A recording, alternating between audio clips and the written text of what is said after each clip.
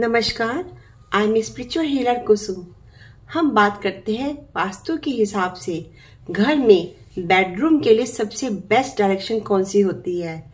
वास्तु के हिसाब से साउथ वेस्ट सबसे बेस्ट डायरेक्शन है, क्योंकि साउथ वेस्ट के देवता है नृत्य देव और साउथ वेस्ट को पितरों का जोन भी कहा जाता है, और इसके प्लैनेट्स है राहु।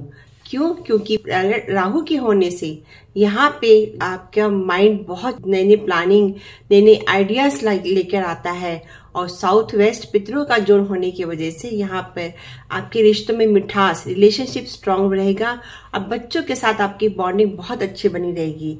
और आपको ये पता होगा कि सही टाइम पर कौन सा आइडिया इम्प्लीमेंट करके जीवन में आगे बढ़ सकते हैं।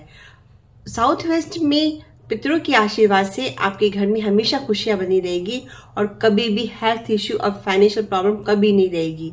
लेकिन यदि आपने पितरों का जोन खराब कर दिया, अर्थात साउथ वेस्ट डायरेक्शन में आपने किचन बना दी टॉयलेट बना दिया, पूजा घर बना दिया, सीढ़ियाँ बना दी, इससे क्या होगा? आपके पितर आपसे नाराज़ हो जाएँगे।